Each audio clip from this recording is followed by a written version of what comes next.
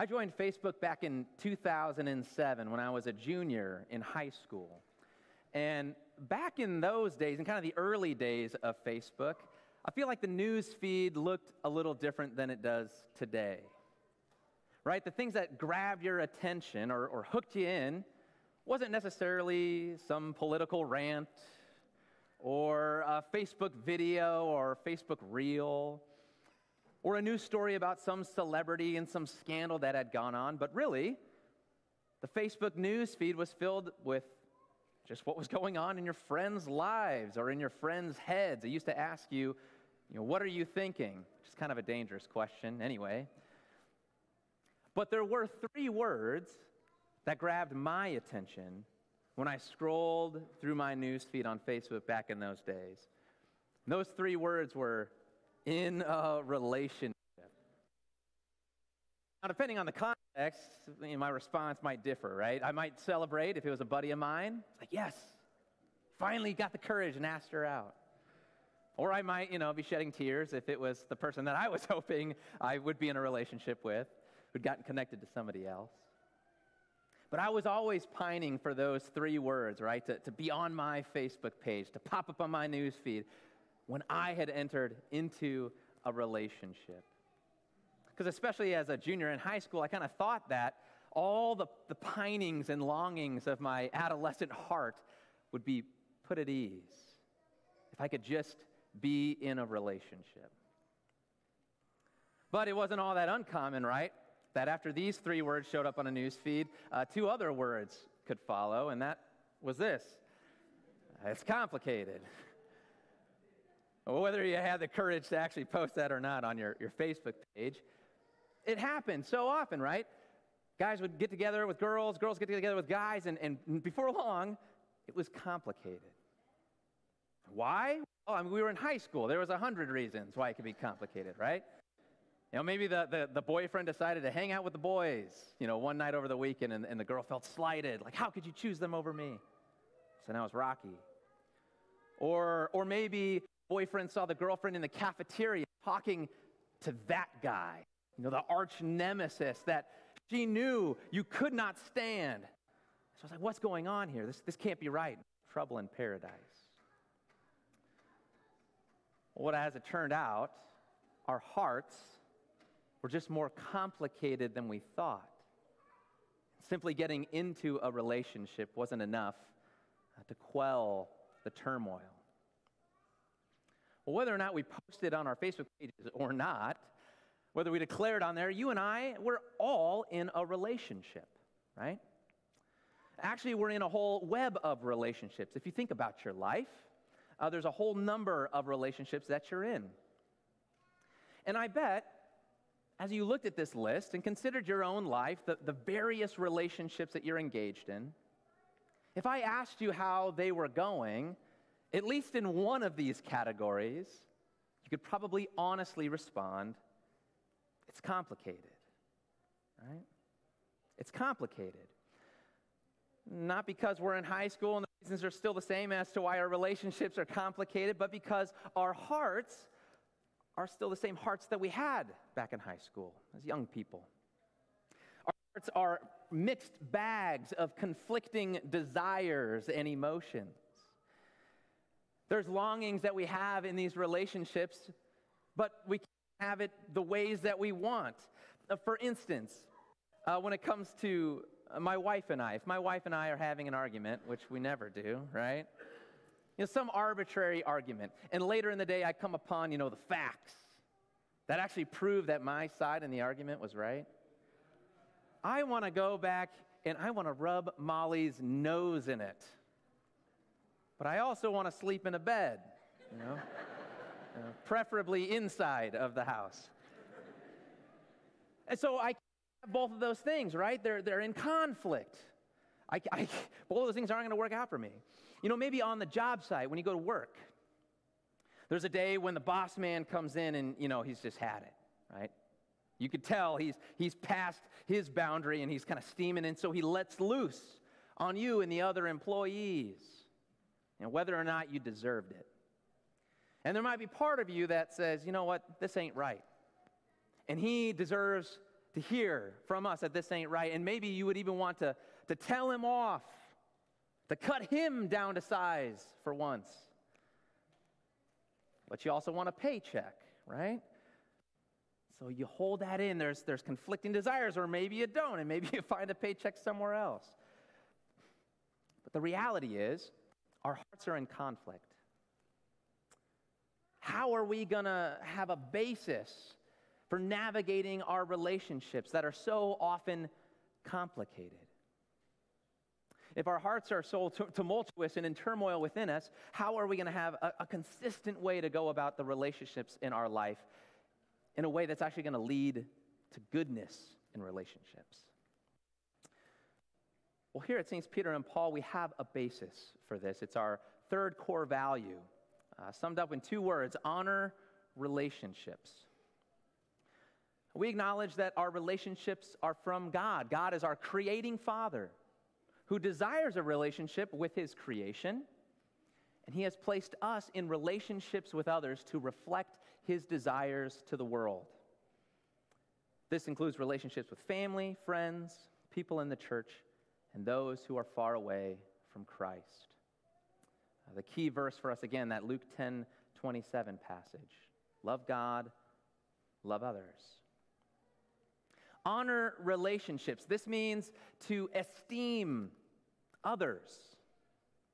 Whatever relationship we're considering, we put the other person at a high value, higher than ourselves, even. We say that they are precious in God's sight, and so they're precious in ours. They were made in the image of God, and so I'm going to treat them as one of God's creatures. I answer to Him. This is the basis for us as we walk in relationship to others. And this is nothing new, the, the language that we've uh, given to this idea of honoring relationships for the church. Uh, this is something that Peter was instructing his churches, churches he was ministering to in. Uh, he acknowledged this web of relationships that we find ourselves in. He didn't reference the parent child, but you can find instruction for those in Ephesians or Colossians. But Peter recognized that we live in relationships with people close to us, our siblings, or people far from us, the Gentiles, the brotherhood, the church. Peter would go on in chapter 3 to talk about the spousal relationship, husbands and wives, with specific instructions for both. He recognized that there's a, a master servant relationship. It Doesn't resonate for us as much. We live in a different time and culture, but similar to employee, employer. And he also acknowledges that we live within a society and we have a relationship to our government. And Peter, amidst all the instructions he gives to different categories of relationships, all of those instructions could really be fundamentally simplified to two words. We, we read it in verse 17 honor everyone. Again, the word honor means to esteem, to lift up, to hold others as valuable in your sight. And that might seem simple. We have the command from Jesus, right? Love God with all your heart, soul, mind, strength, and love others as yourself. But what I love about the scriptures is that they don't just give us a dictum and expect us to do it. The scriptures don't just give us a command and expect us to obey it like blind people following a word. If you do, it'll go fairly well for you. But Peter and the scriptures also give us an account for why God gives us the command and also how we are to go about doing it. God doesn't just give us one more thing to do in our lives, but He actually gives us help in the solution. And so we'll look at what Peter says is the problem and what the solution is. Well, first, let's look at the why. Why is there so much turbulence in our relationships? Peter puts it this way there's a war going on. Verse 11, Peter says, Abstain from the passions of the flesh, because they are waging war against your soul. What Peter is saying is you are a mixed bag. You have desires within you that are counterintuitive to the things that you want. Now, sometimes when you hear passions and flesh uh, in the Bible, you're talking about very specific things like idolatry or sexual immorality or greed, things like that. But here in this section, the word that, that Peter uses for passions doesn't necessarily mean negative or disordered passions. They can even be good things. It could be the desire to have uh, uh, words used of integrity to be spoken to you by your employer. That's not a bad thing to want. It could be the desire for uh, uh, you and your wife to have an agreement in your conversation, to come to some sort of resolve or resolution, even if that involves speaking a hard truth. That's not a bad thing. But the problem comes when the passions of the flesh take a higher precedent for us than what our soul is after, or when we think those desires of our flesh, if those are just fulfilled, that our soul will be at ease. That's simply not the case. In our heart, there is a battlefield going on, a war that's being waged. And you sense it, you feel it, I'm sure you do. In these situations, in those complicated relationships, you likely sense the war waging within you. And when your wife asks you to do one more chore, and you start to think, I mean, don't I do enough? Are you ever satisfied with what I'm giving into this relationship? There's a war going on. When you feel a distance from your husband, a lack of connection with them, and you start to wonder to yourself, is there something flawed in me? Am I just at my core unlovable? There's a war going on inside of you. Kids, when your parents come up with a rule that they want to enforce in your home for stability, for good things to happen in your house, and immediately when they mention this new rule, you start thinking in your head how you are going to break it. There's a war going on inside of you. Because the reality is, we are a mixed bag. There, there are two sides of us, right? We are made in the image of God. We've been endowed with His wisdom, with the ability to reason and think and to see that which is good. We can hear the command of God that says, Love Him and love our neighbor, and say that is good. But we also have the old Adam in us. We have that dark side to our nature. That side of Adam that says, God, I don't want to listen to your commands. I don't want to trust in your word. I would rather rebel. I think I can figure out my own way through this that's going to work better.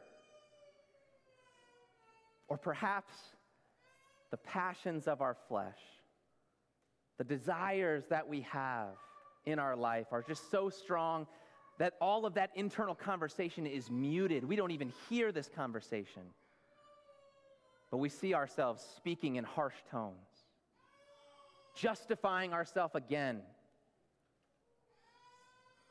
or harboring resentment and bitterness. How do we respond? What's the path forward? Well, I can tell you what Facebook will tell you. If you go on Facebook these days, and maybe even those days too, the world will tell you you're right.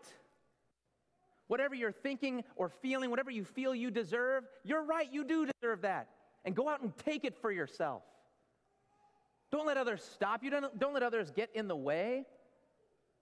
The world will take the issues of others and enhance them and overemphasize them so that you have a target to channel all of your frustration, that inner bitterness and resentment for those unfulfilled passions.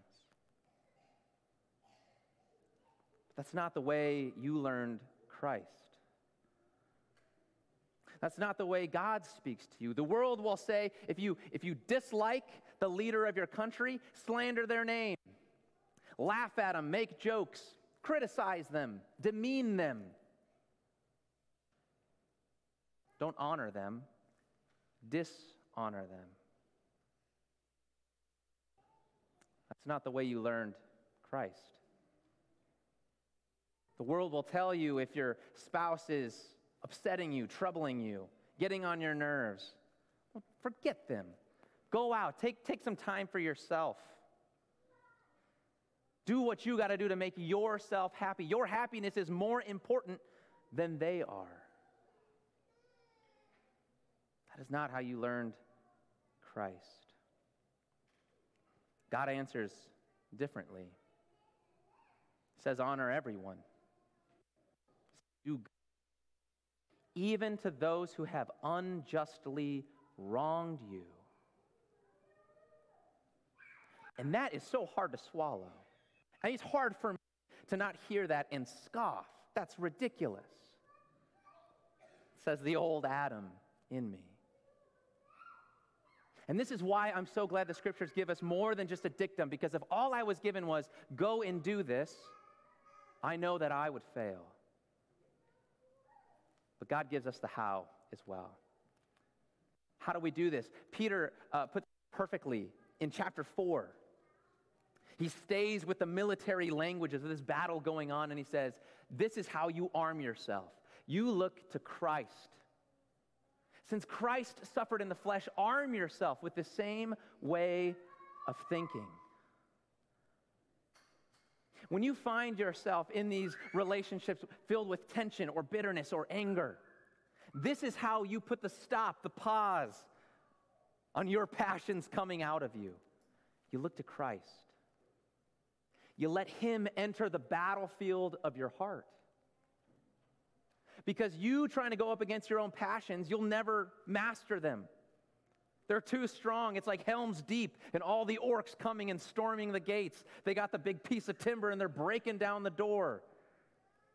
All of the voices inside of you will, will rage and overcome and power your voice. But Jesus, Jesus went to the cross to dismantle those powers within you. Look to Jesus. Put yourself back into the gospel. For Jesus went to the cross, not just for all of the other people in the world who we want to look at and say that, that they have the problems, but he went there for you and me. Jesus went to the battlefield and he went up against our bitterness, our resentment. We were created to live in relationship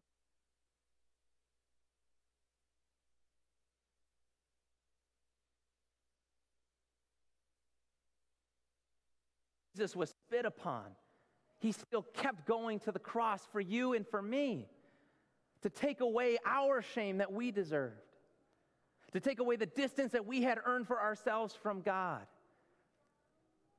so that we could be loved and accepted and honored by God. Jesus suffered unjustly, he did good, he honored you. And he did it because he knew the Father's love. And Jesus knew what awaited him on that battlefield there at Golgotha.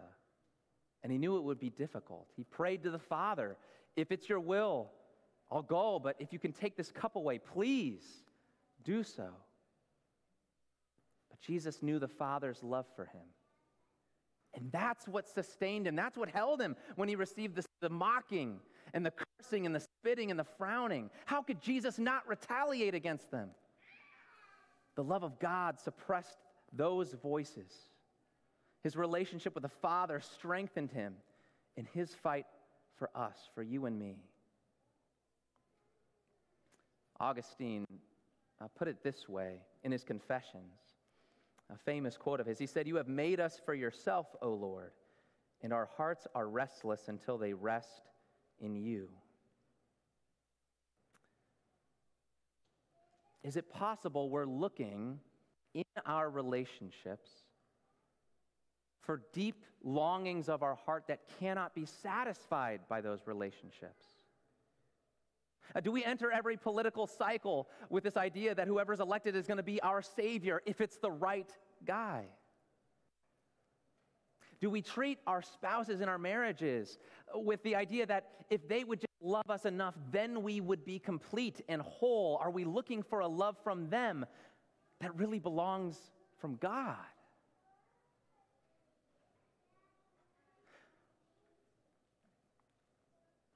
You have made us yourself, O Lord, and our hearts are restless until they rest in you. Peter in chapter 2 says, For this you've been called because Christ suffered for you, to leave you an example that you might follow in his steps. Know that you don't go alone, that Jesus goes with you. He is there with you in the battlefield of your heart. Turn to him. Turn to him like Gandalf there at Helm's Deep, right? Showing up in that burst of light. He's there. You're not alone. When you suffer unjustly in whatever relationship, recall how Jesus has responded to you towards the Father. I want to take just a moment to look at one last slide. I want you to think about two relationships, or pick one or the other in your life right now. What's not one new relationship that's been forming in your life? And what would it look like to reflect God's desires in that relationship? Or what's one difficult relationship that you're currently dealing with? And looking at the example of Jesus, how might you walk forward in it? Consider your relationships. Remember the God who has honored you always because of what Christ did for you on the battlefield of Golgotha. Now, he goes with you in the battlefield of your heart. It's in his name we pray. Amen.